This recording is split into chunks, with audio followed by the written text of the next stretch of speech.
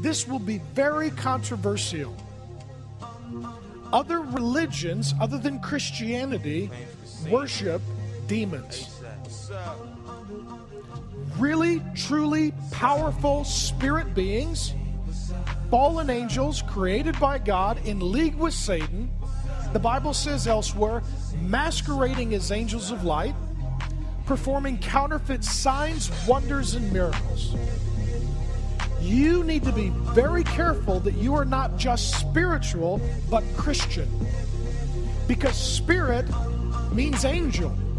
And there are angels who love the God of the Bible and angels who love Satan and join in his rebellion against the God of the Bible.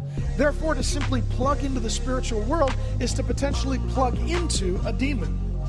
The Bible says this in both the Old and New Testaments. I'll give you one example. In Deuteronomy 32 17, we are told they sacrificed to demons that were not God. They sacrificed to demons. Old Testament people who did not believe in the God of the Bible went through all kinds of spiritual ritual, but they did so to demons, not to God. The New Testament declares in 1 Corinthians 10 20, what pagan sacrifice they offered to demons and not to God, I do not want you to be participants with demons. Again, I'm not saying that other religions don't have powerful spiritual beings they worship. And I'm not saying that they don't have powerful spiritual experiences.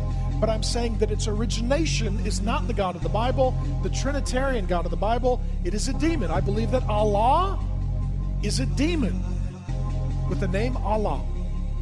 And he's different than Yahweh, the God of the Bible. When you see the bumper stickers that say, you know, love your Mother Earth, there is a demon named Mother Earth. There are demons who pretend to be God, want you to worship them as God. And if you're just religious or spiritual and not Christian, you could be participating with demons. And my fear is, out of love for you, some of you already are.